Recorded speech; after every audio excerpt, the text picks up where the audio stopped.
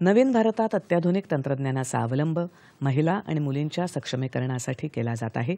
महिलांकडे आता केवळ गृहिणी म्हणून पाहिलं जाणार नाही तर राष्ट्र निर्माती म्हणून पाहिलं जाईल.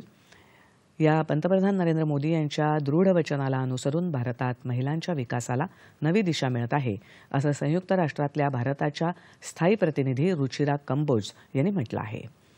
जागतिक महिला दिनाच्या पार्श्वभूमीवर महिलांच्या स्थितीविषयी संयुक्त राष्ट्रसंघात झालेल्या सत्रात त्यांनी भारताची भूमिका विशद केली.